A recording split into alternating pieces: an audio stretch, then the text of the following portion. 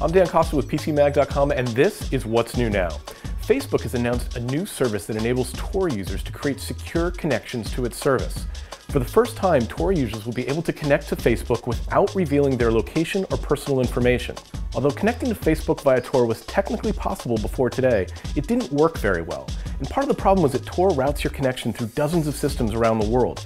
That would often trigger Facebook's fraud alerts and lock you out of your account.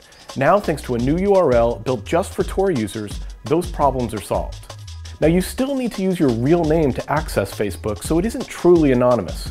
And of course, any information you choose to share, including your age, favorite movies, relationship status, even your drunken selfies, is still fair game for the social network. Even so, by supporting Tor, Facebook is making it harder for hackers, marketers, and even governments to intercept your communications. Find out more about Facebook and Tor on PCMag.com. I'm Dan Costa, and that's what's new now.